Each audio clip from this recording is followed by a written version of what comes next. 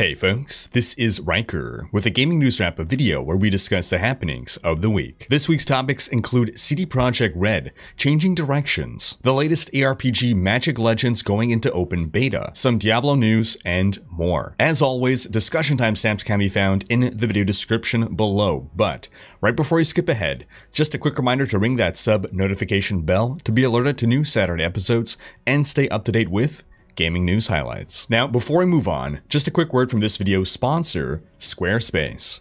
I built my website, Rhykker.com, using Squarespace, and I was able to do everything myself, quickly and easily, and with zero education in the field, all thanks to how easy Squarespace is to work with. With Diablo 3's new season having just started, I had to update my website to include my latest video guides. Watch how easy it is for me to make basic maintenance changes to my website. No coding knowledge needed. Just a few intuitive clicks, and you've got yourself a professional looking website. Basically, if you want to build a website, I recommend Squarespace. And Squarespace is currently offering my viewers 10% off your first purchase with them. Just go to squarespace.com slash Rhykker or click the link in the description to sign up and start building your online presence. That's squarespace.com slash R-H-Y-K-K-E-R and use code Rhykker to get started today. In our first story, CD Projekt Red has released patch 1.2 for Cyberpunk 2077, and it includes over 500 fixes. Cyberpunk is certainly one of those cases where it'll pay off for the patient gamers, those who didn't pre-order, I'm gonna wait for more content to release, wait for more bugs to be fixed, you know, maybe buy the game as a discounted bundle in a, a year or so. Avoid all those nasty release pains, you know? But meanwhile, it seems CD Projekt Red has learned a thing or two about building hype for a decade before a game releases. During a strategy presentation this week, the company stated that future marketing campaigns will be much shorter, with promotional content released closer to the actual release of the given game. The company also revealed a new strategy that it would use going forward that would involve working on multiple AAA games and expansions in parallel. We also learned that the company is rethinking the multiplayer Cyberpunk release they've previously talked about, which while never fully explained seemed like it would be a pretty big deal since it would be a standalone product. The studio head stated, quote, Previously, we hinted that our next AAA would be a multiplayer cyberpunk game. But we have decided to reconsider this plan. Given our new, more systematic and agile approach, instead of primarily focusing on one big online experience or game, we are focusing on bringing online into all of our franchises one day. We are building an online technology that can be seamlessly integrated into development of our future games. Now, reconsider doesn't mean cancelled, but why say it at all if it wasn't to lower our expectations. And honestly, focusing purely on the single player of Cyberpunk right now should be their focus, so it's not a bad thing. However, the company did also announce this week its acquisition of Canadian studio Digital Scapes, which specializes in multiplayer games. And the studio has been working on Cyberpunk since October 2018 but it's unclear how or if this may change going forward. Clearly though, they're part of CD Projekt Red's multiplayer plans. In other news, we got the reveal of a new game called Loot River. I'm not normally terribly into pixel graphics, but this game is visually beautiful within its style and has some clear ARPG gameplay in it. The devs describe it as a dungeon crawling action roguelike that combines tense real-time combat and dark fantasy settings with spatial block shifting. And you can see a brief clip of an equipment and stat screen that feels very RPG, so there's definitely stuff in here that has me interested. And the sliding box aspect especially has me intrigued. I always love to see innovation. And speaking of innovation, a new action RPG, Magic Legends, has entered open beta. And after one week of relatively bad reception, the devs released a patch that addressed some of the bigger complaints, which is promising. At the very least, the team has maintained open communication with the community, which is great, but I've been seeing a lot of negativity about this game. Now, I've apparently logged about 15 hours in the game, although a lot of that is probably me reading chat while I'm streaming. And while I'd like to do a full video about the game at some point, things have been really busy for me lately with the Diablo 3 season start. So In the meantime, at least, I'll give some quick impressions here. First off, the biggest distinguishing factor between Magic Legends and other ARPGs is the skill system. Your skills are basically Magic the Gathering cards. You build a deck of cards, and four of those cards are randomly dealt into your hand as skills that you can use. When you use a skill, it goes back into your deck and you're dealt another random card. Now you have a couple of basic skills that never change, but for the most part, the skills you're using are constantly changing, and so you're at the whims of chance to know what cards you'll be dealt. Of course, within the pre-selection you've made to build your deck. I think this is a really innovative system, and I love to see innovation in the rather stale ARPG genre. But this system will be and has been a deal breaker for a lot of players. It's not for me, but I've not yet faced any real challenging content.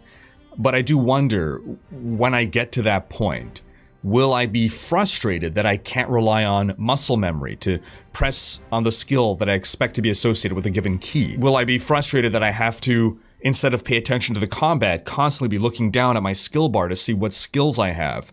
That I have to remember what icon represents what skill because I don't have time to mouse over and read the description.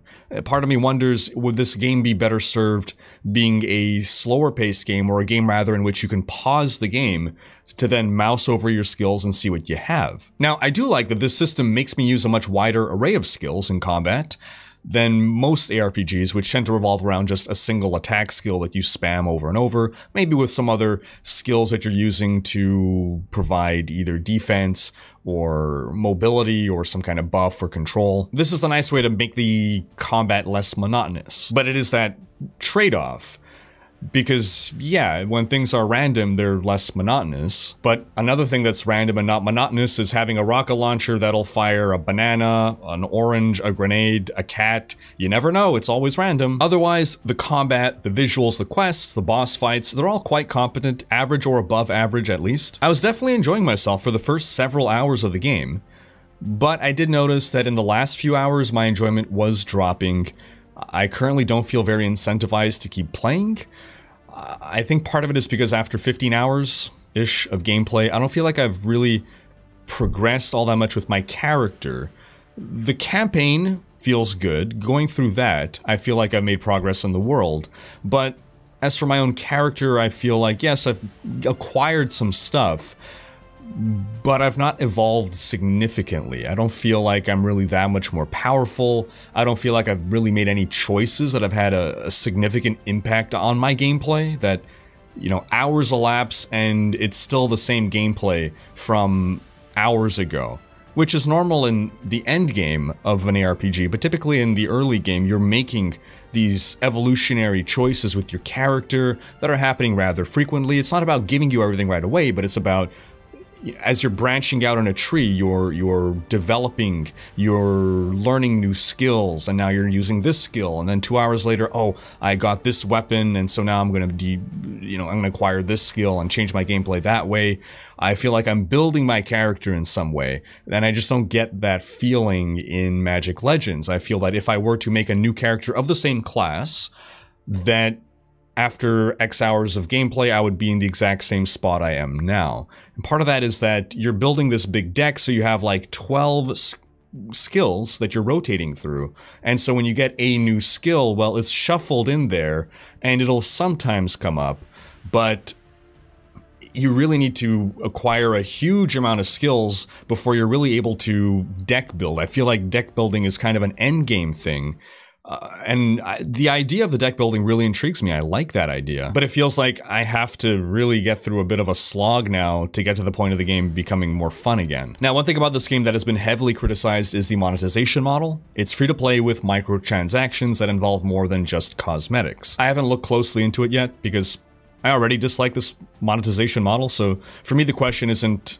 do I like this or dislike it, it's how much do I dislike it. And I just feel like I need to fully understand the game before I can really judge how bad the MTX is. I can see what I can buy, I just don't really fully understand if I don't buy it, how long does it take me to get this naturally, what really is gating me, how further along would someone who is paying be versus someone who is not paying? These are all questions that I don't know the answer to. But I just don't like that I have to ask these questions to begin with. And I'll note that I never got into Magic the Gathering itself, the actual card game, because I don't like that monetization model either.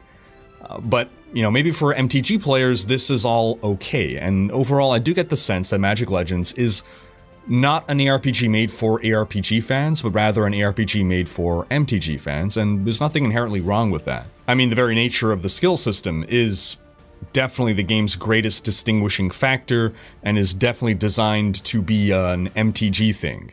This isn't just an ARPG, some generic ARPG set in the the lore of Magic the Gathering. This is something that takes the core, the very essence of what MTG is and always has been, and builds that into an ARPG. Now, I hope I have more to talk about with this game in the future, but if you've played, I'd love to hear your thoughts in the comments below. On to some quick Path of Exile news. With the next expansion, Ultimatum, set to release on April 16th, the devs are working on something that players have been asking for for a while now. Performance improvements. Details in the patch notes, Link in the video description. On to some Wolcen news. The devs have revealed the first content update for Chronicle 1 Blood Trail.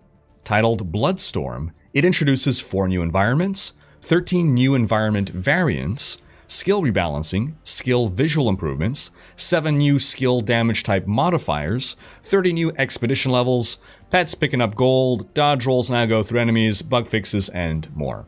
Overall, it's a nice update, and it's nice to see the game continue to get support by the devs. But in addition to the bug fixes and skill rebalancing, which is great to be doing, I think the focus should be on new content like new items rather than improvements of a more visual nature, since the game already looks gorgeous. I don't think that's a complaint that anyone has had about the game. On to some last Epoch news. The upcoming ARPG continues to get regular updates, with a couple patches releasing that included bug fixes and updates to unique items. Also, the game has hit this week a record in concurrent players at over 7,000. This is definitely a game to keep an eye on, and hopefully public multiplayer testing starts soon. On to some Diablo news. Season 23 of Diablo 3 began last night. If you haven't seen it, check out my tier list video on the best builds of the season, and once you've picked something, be sure to follow my build guide video about it. I also have a video about ways to level rapidly at the start of a new season, if you're looking to speed your way to 70. In other Diablo news, Carbot has released another episode of his Diablo 2 series. This episode revolves around the search for Khalim's heart. And Carbot also released a great April Fool's gag, a cartooned Diablo 2 graphics pack. And in case you're not aware, Blizzard actually added a Carbot graphics pack to StarCraft Remastered, so you never know. Lastly, I wanted to bring your attention to this Diablo-inspired cosplay. It's basically a Diablo skin for an Overwatch character named Brigitte, and it's created by Kamui Cosplay. Just an incredible shield design. And that's gonna wrap up this week's video. But do be sure to have checked out last week's video in which we discussed potential deeper changes to Diablo 2 Resurrected. Thanks for watching. Special thanks to my Twitch, Patreon, and YouTube supporters for making these videos possible. If you like what you see on this channel and want to support the creation of more content, you can consider pledging on YouTube or Patreon and unlocking behind the scenes content, monthly virtual hangouts, and more. If you enjoyed this video, please share it, check out these other videos, and subscribe to join Rhykkers Raiders for more gaming content.